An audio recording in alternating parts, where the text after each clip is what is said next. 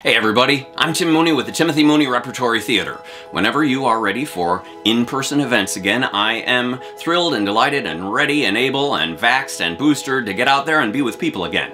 Meanwhile, I've spent these two years developing an online style that creates a close analogy to the in-person offerings I've been presenting these past 20 years. This one, giving everybody a seat in the front row. I'm able to share these events at a tiny fraction of the usual cost, and you don't have to wait until I happen to be driving through your neighborhood. I'm available on demand and online at breakneckshakespeare.com.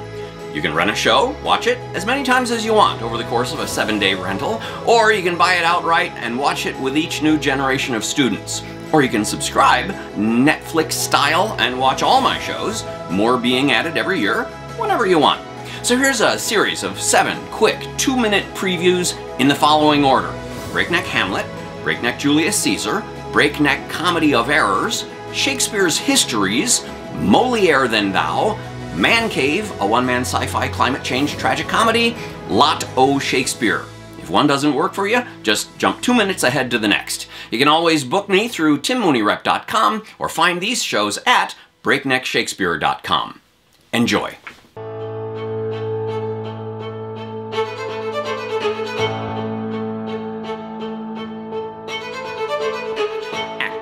Mostly about acting and spying. Time has passed. Hamlet seems to have convinced most everyone that he is under the grip of some form of madness. Scene 1, a room in Polonius' house. Polonius sends a spy to France to snoop around and dig up dirt on his son's behavior while away.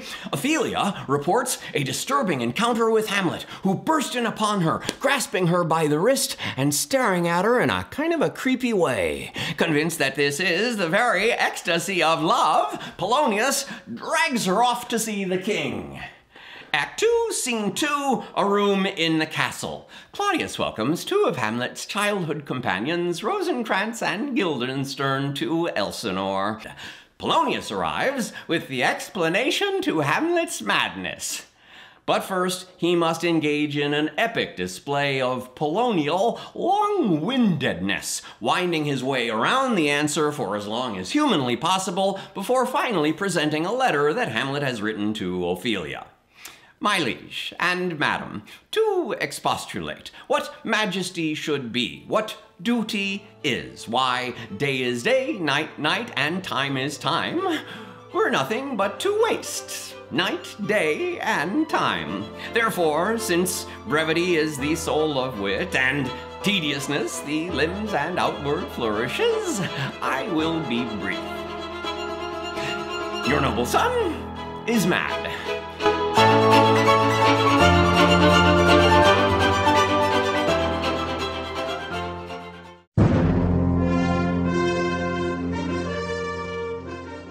Kings, senators, dictators. The Romans of 44 BC hated kings. The Romans ditched the notion of kingship for once and for all, becoming instead the Great Roman Republic, governed by senators, mostly landowners, aristocrats such as Brutus and Cassius, often slave owners, often every bit as corrupt as the former kings, they were at least corrupt over smaller chunks of the great empire. As we know, senators are mostly incompetent generally incapable of agreement or leadership, and one might occasionally fantasize about life under a benevolent dictator. In Rome, it was not uncommon for a dictator to be appointed to temporary emergency terms of six months, perhaps several years, or in the case of Julius Caesar following four triumphant wars, for life. People were generally okay with this just as long as the dictator did not become king. Why? Because the kingship is inherited, not earned, and no one could guarantee that the son of a son of a son of a given king might not produce yet another tyrant to rule with ineptitude or insane bloodlust. Fifteen years prior to the start of this play, Julius Caesar had ruled as part of a triumvirate formed in 60 BC in cooperation with the great general Pompey and a third, less celebrated partner, Crassus, who died in 53 BC. Keep in mind that in BC, time was traveling backwards, down towards zero, though of course, they had no way of knowing that at the time.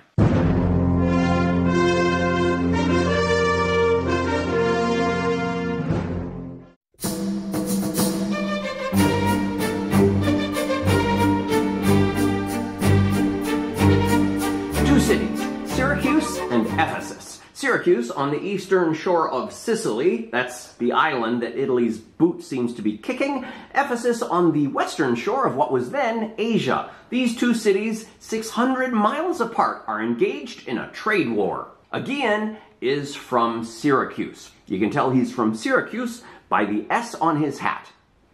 He's not really wearing an S on his hat. That would be a dead giveaway. That's just there so that you guys have some hope of following the plot. He is arrested and brought before the Duke. In Syracuse was I born, and wed unto a woman. With her I lived in joy. Our wealth increased by prosperous voyages I often made to Epidamnum.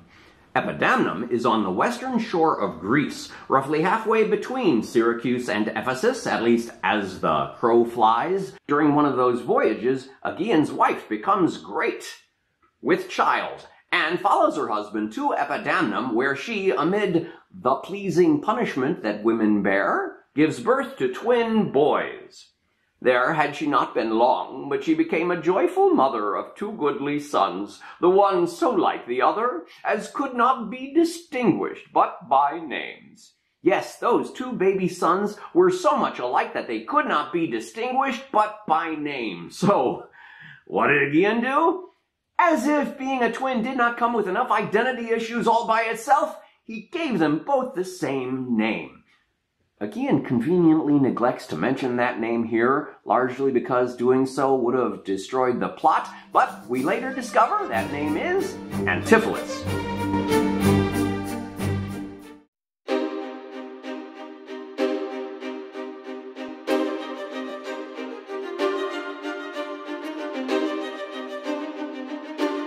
The year 1066. The Normans conquest over England led by William the Conqueror. William begets William II and Henry I, who becomes father-in-law to Geoffrey of Anjou, the first known as a Plantagenet. Geoffrey fathers Henry II, who becomes king shortly after marrying Eleanor of Aquitaine, thus creating the Angevin Empire, encompassing not only England, but most of France as well. Henry is father to five sons. The most popular, Richard the Lionheart, rules from 1189 to 1199. When Richard dies in 1199 without an heir, succession might have gone one of two ways. It might have gone to Arthur, the 12-year-old son of Henry's fourth son, or it might pass directly directly to Henry's fifth and only surviving son, John. This is the issue at the center of all of Shakespeare's history plays, succession. In each instance, a good, clean, undisputed succession leads to happiness and prosperity. An uncertain, contentious succession leads to dispute, dissent, and rebellion. Given that Shakespeare's own monarch, the childless Queen Elizabeth, was now in her 60s, an ancient age at that time, Shakespeare was essentially telling horror stories about the dangers a disputed succession might bring to England of the 17th century. In the 13th century, however, issues of succession were not so clear or settled, and while the 12-year-old Arthur might have had the cleaner path, the 32-year-old John had all the power. If the name King John sounds familiar, he also appears in the many tales of Robin Hood, as well as Ivanhoe and The Lion in Winter, always depicted as somewhat of a weasel.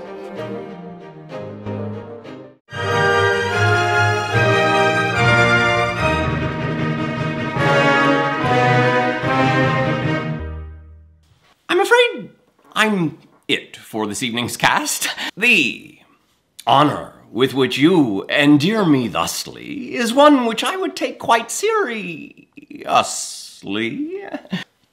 Your soul will stay all pure and lily white, yet once you misstep here, however slight, it will become as black as any coal.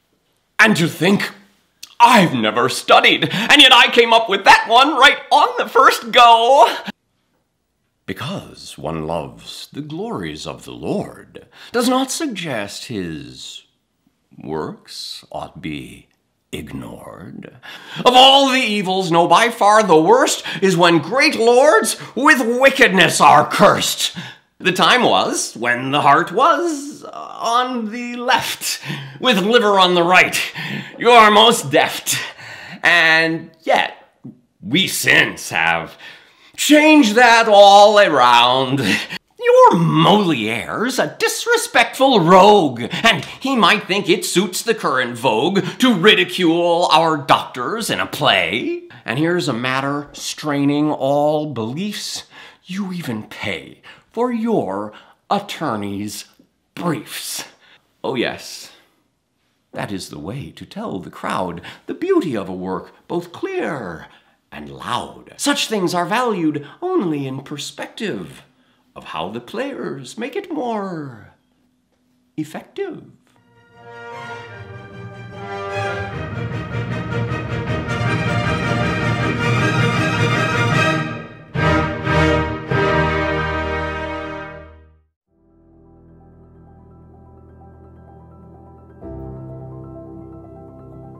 My voice goes out and you'll hear it in what?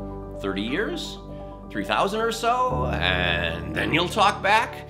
And 60, 6,000 years from this tick, you'll talk to a very hot planet in your unique accent, in your own special diction.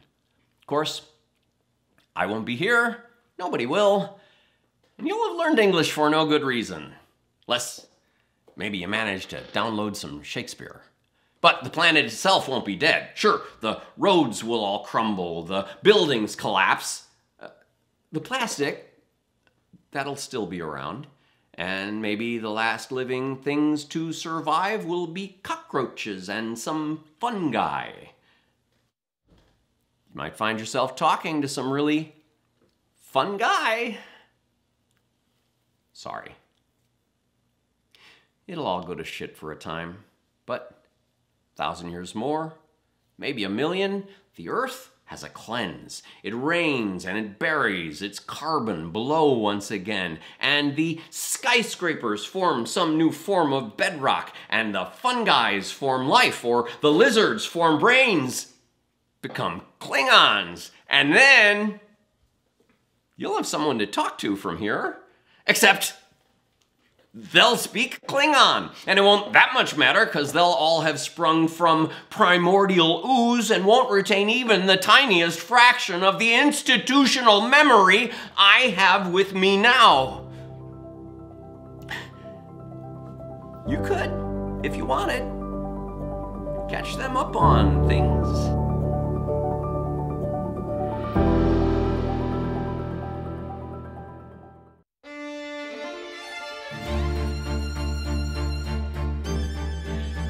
Everybody, and welcome to Lot O Shakespeare! One monologue from every Shakespeare play, in alphabetical order. Are you meditating on virginity? Tis such fools as you makes the world full of ill-favored children. With the spleen of all the under fiends, he that sleeps feels not the toothache. The undiscovered country from whose bourne no traveler returns, but betwixt my love and your high majesty. For the fifth Harry from curbed license plucks the muzzle of restraint that fought with us upon St. Crispin's day. See? They forsake me. And force perforce, I'll make him yield the crown, or hew my way out with a bloody axe. And as he plucked his cursed steel away, mark how the blood of Caesar followed it. Throw thine eye on yon young boy.